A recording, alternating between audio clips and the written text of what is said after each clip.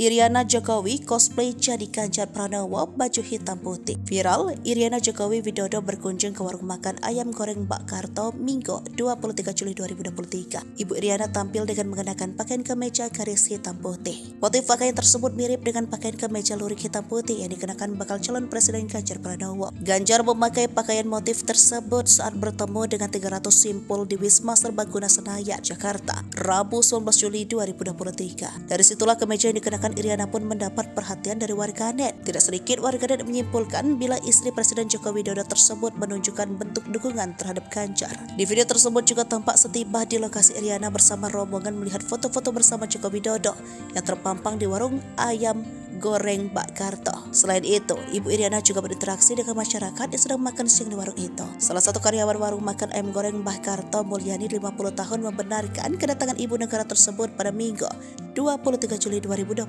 siang. Benar mas, kemarin Ibu Iriana datang ke sini sama saudaranya, ujar dia. Kalau pakaian seperti putih garis-garis hitam, tambahnya.